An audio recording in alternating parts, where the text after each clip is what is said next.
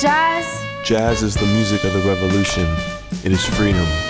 You can't fake it. Jazz is really about intimate personal expression. It's free thought, the music of my ancestors. Jazz is style. It inspires vulnerability and it inspires honesty. Jazz is in the moment. It's a vibe.